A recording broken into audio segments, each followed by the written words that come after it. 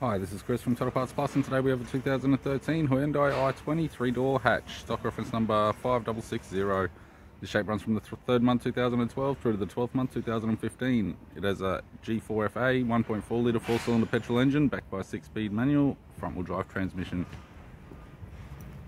G4FA 1.4 litre four-cylinder petrol engine with the radiator grille, right-hand headlight, left power door mirror, clear coats peeling. Left front door has one small dent and a light fold on the front edge. Left rear, 14 inch steel rim with a good tyre. Left hand tail light, tidy rear bumper cover.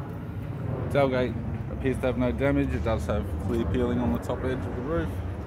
We have the right hand tail light. Right rear 14 inch steel rim with a good tyre. Right front door has three small dents. Right power door mirror also faded.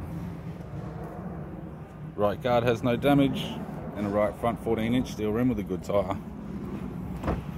We have the driver's side door trim, power window master switch.